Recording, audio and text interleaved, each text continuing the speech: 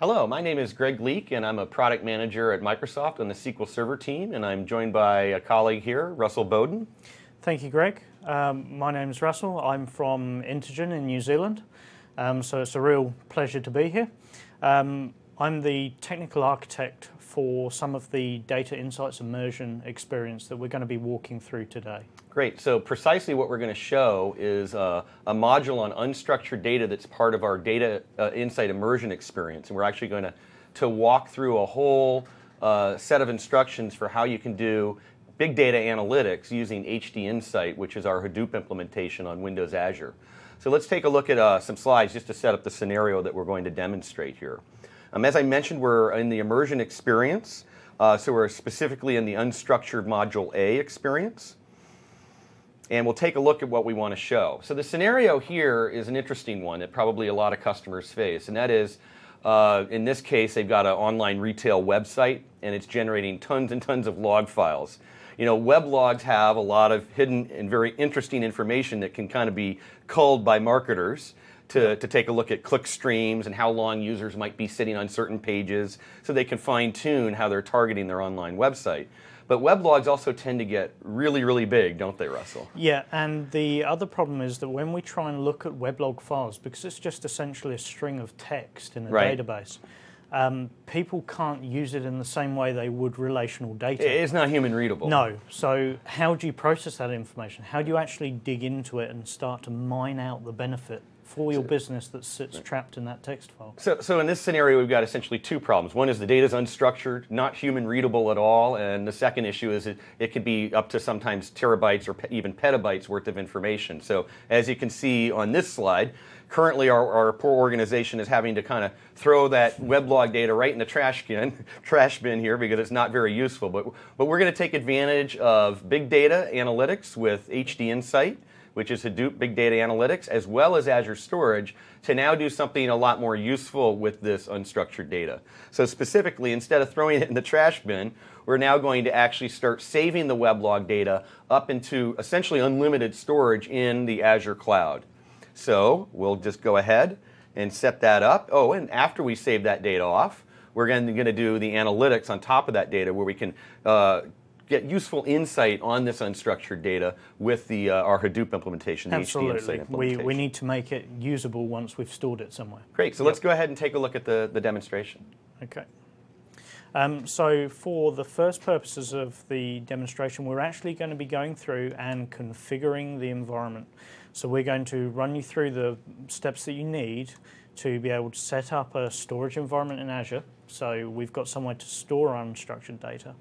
If you go to your data center admin and say, I want to start storing text files in your nice, clean, structured database, the chances are you're not going to be their best friend. Right. Um, so this gives us a very safe environment to be able to start to store that information reliably.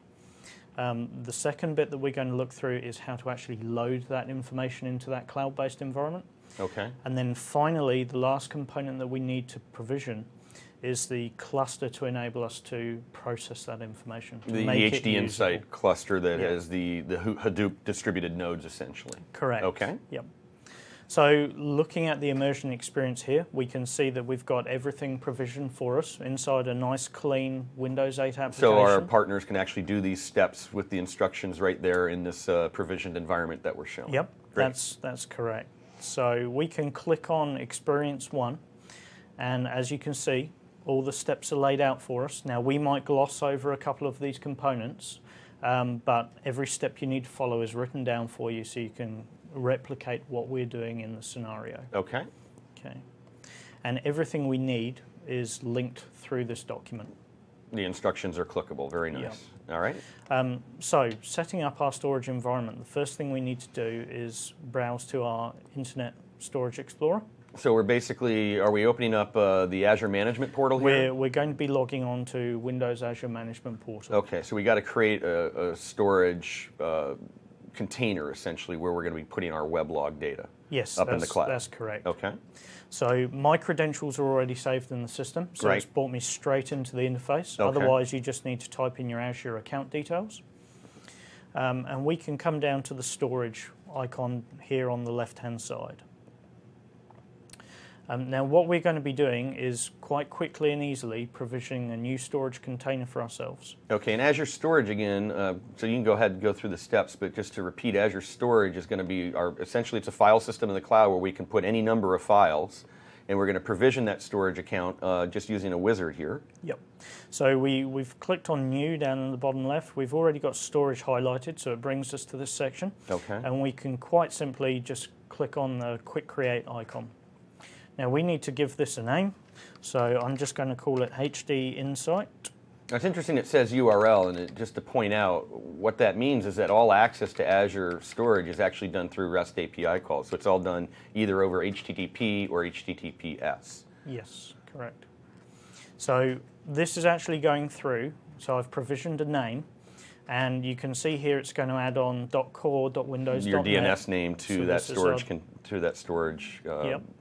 Container. We're going to attach it to um, the Affinity Group or to a location. Okay, so those are the data centers down below being listed out. So we could Yep. put the storage container in Europe, in the US, or in Asia. Absolutely. Okay, across eight different data centers that were Yep. listed there. So the, the important thing to remember here is that your storage container needs to be in the same region as your HD Insight cluster that you're provisioning because Okay. they need to be able to talk to each other. So in this case, we're doing the storage container in Northern Europe. When we get to provisioning our HD Insight cluster, we want to make sure we put that in, In Northern, Northern Europe, Europe as well. well. Okay. Yep.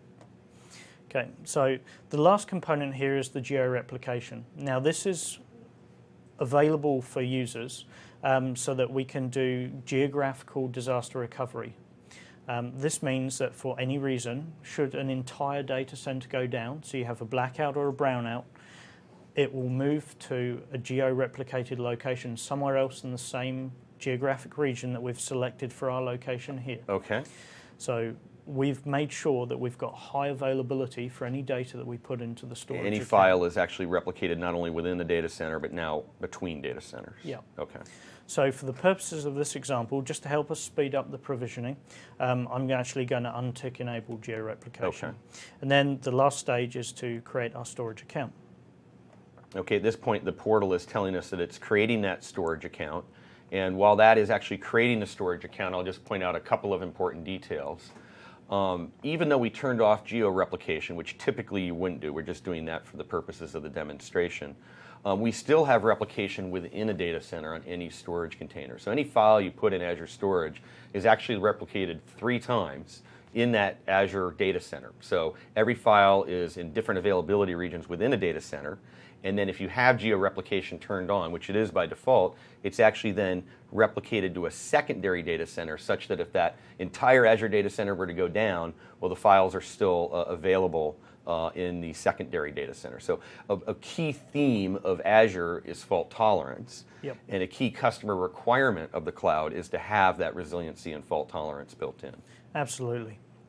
So we can see now from the example on the screen that we have, um, the storage account that I've provisioned has Okay. actually appeared. Yep. We know that it's online and we can see the geographic location to which it's been. Okay, so that's actually a storage account. It's not necessarily a container yet, right? Correct. So within the storage account, we can start to look at dashboards. We Mm-hmm. can monitor the health or the status of our storage account. Okay. Um, and the next phase that we need to do is actually to go through and provision containers within this account. A- And a container is just the notion of a folder. It's the same idea. A folder Absolutely. within a hard drive is Yep. essentially the, the analogy to draw here.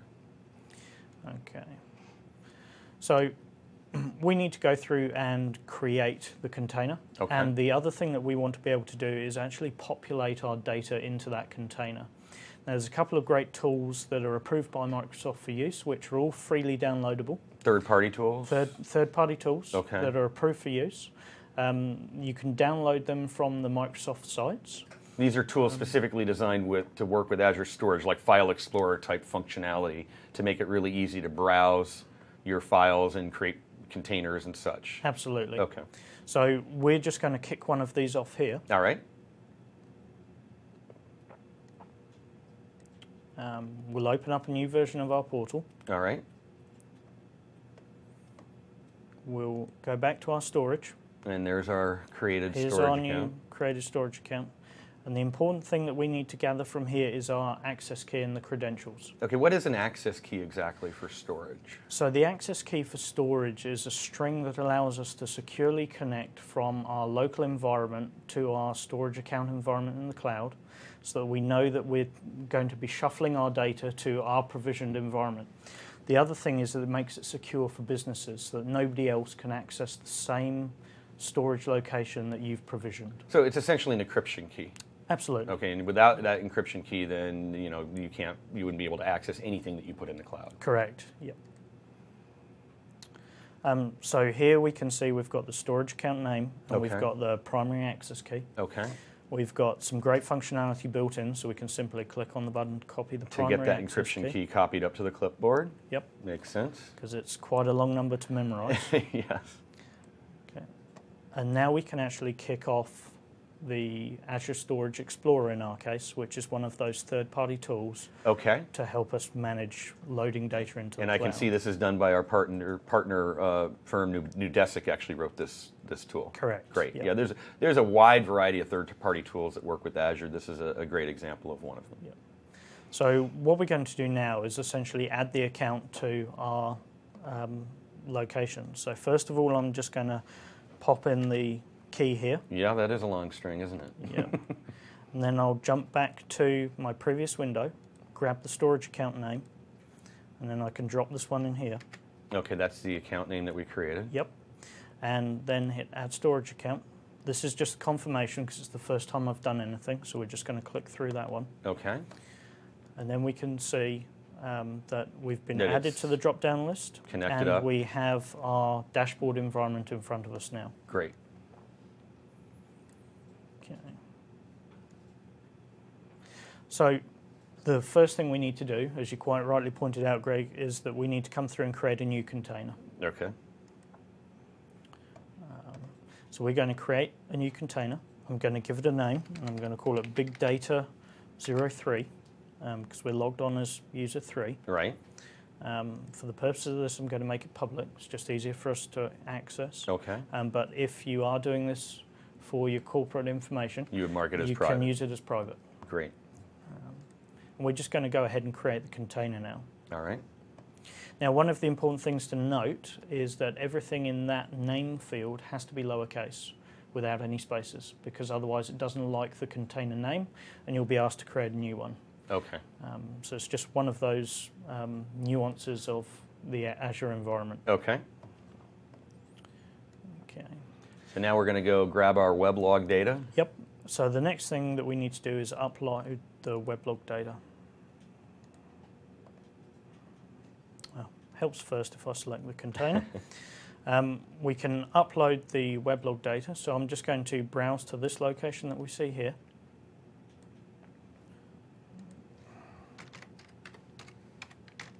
And this could be, you know, in this case for the demo, I don't think it's a tremendously large file, but this typically the weblogs uh, can become easily petabytes worth of information. And, and the purpose of using Azure Storage is essentially unlimited storage amount, and then also we can use HD Insight then to operate against this Absolutely. and make sense of this Yep. clickstream data that's in the weblog.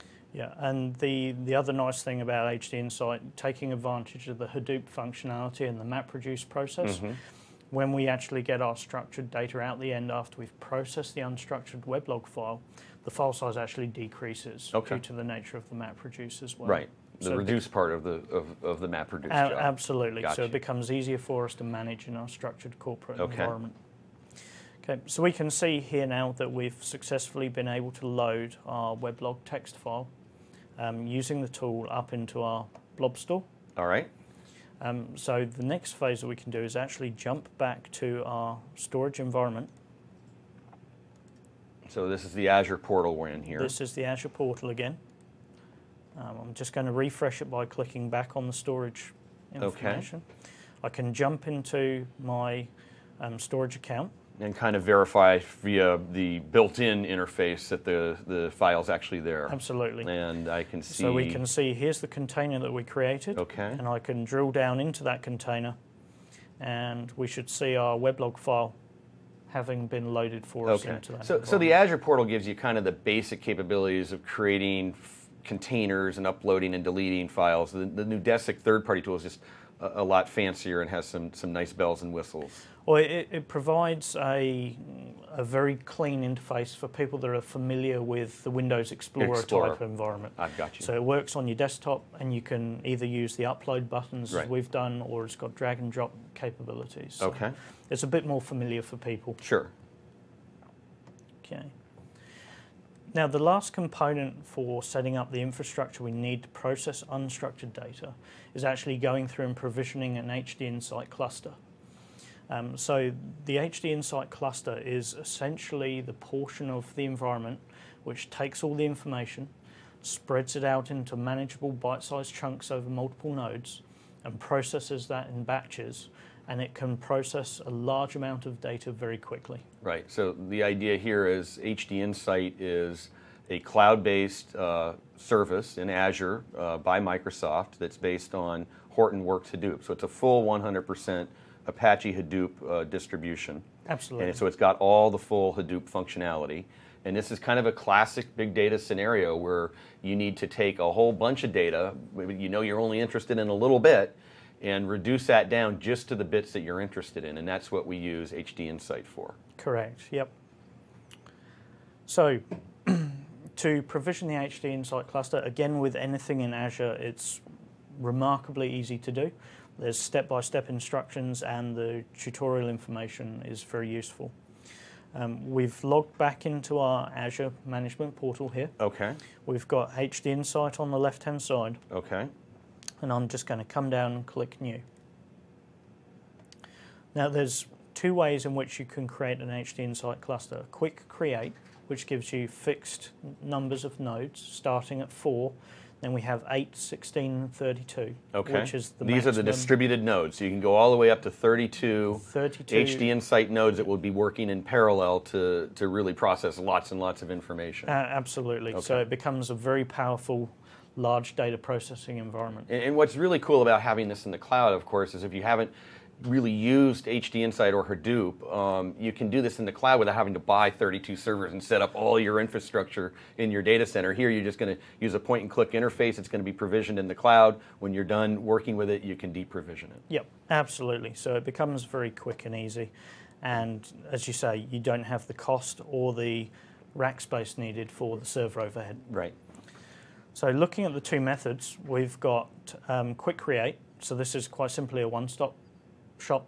It's a one-screen entry page. Okay. We can type in a cluster name, and it gives us the four To standard data nodes. classifications Yep. of nodes.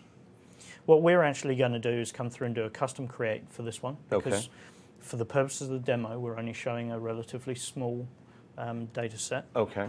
Um, I need to give my um, cluster a name. So we'll go back to the instructions here and make so we'll sure we just get go- the, uh, the yep. appropriate name. Okay. And we can see after we give it the cluster name, I suspect you're probably going to reduce the number of data nodes that we can configure. That will be correct, yep. So we're going to call it Big Data Immersion Okay. for, oh, so somebody's already using Big Data Well, I'll just call it Immersion. Big Data Immersion 2, and, Two. and that should be fine. Yep. um, but th- this is a nice feature as well because you never run into the possibility of getting halfway through provisioning something and then having it fall over Right, and, and so what, what what happened there is that Azure is automatically checking. This is an internet DNS name. This is going to be an addressable Hadoop cluster in the cloud, addressable over the internet. So the DNS name has to be unique on the internet, and that basically Azure's doing that check automatically. Correct. So we're going to go through and for the purpose of the demo, processing a relatively small data One set. data node sounds One data sufficient to node's me. fine for us. We can pick which version of um, HD Insight we want to use. So we're going to choose the latest and greatest version. Okay. And we can select our region. No, Northern Europe, where we created our storage account. So we're Correct. co-locating the, cl- the HD Insight cluster with our storage account. Yep. So that's done. We need to type in a username now. So this is the administrator for the Hadoop cluster we're creating. Yep. So we've got, um, which is the user we're logged in as. Okay. We type in their password. And we've got to confirm the password. Yep. So we'll get that configured here. And then this is going to be the administrator login that gives you full uh, head node rights on uh, the Hadoop uh, cluster here. Yep. So we could run any command. We could also, I assume, provision lower privilege users at a later time after we've provisioned the main master account, right? Yep, that's correct. So we can go through now, say next. Okay. We want to be able to use an existing storage account because we've already created one. We've already loaded our data up there, and that's what we're going to be using to process this information. Right. We can see that by default it's picked the latest one. So this is the one that we're interested in using. And it's got our default container, and we've only created one at this Right. point. Our Big Data 03 container. Yeah. And we don't want to create any additional storage accounts, Sure. so we're just going to leave that set to zero. And then the last phase is to click on the tick icon. And then it's going to automatically. run away and start provisioning the HD Insight cluster for us. Now, bearing in mind how many nodes you want to establish, it will take a varying amount of time to achieve. Okay. Um, what we've found through running this environment for multiple people now is that the average wait time is roughly about 15 minutes. So rather than fill 15 minutes with us looking at a screen, we're just going to skip provisioning. And summarize this module, and then you can uh, see in the next module what we're going to do is actually use this cluster that we've provisioned to do the analysis on the big data. Yep. So great, thank you for that demonstration. So what we've seen in, in summary is using Azure to create a storage account so we can take a lot of data from our web logs and move it up into cloud storage. Then we can provision an HD Insight cluster, which is a Hadoop cluster, to then process that data. So I hope you've enjoyed our demonstration. Thank you very much. Thank you.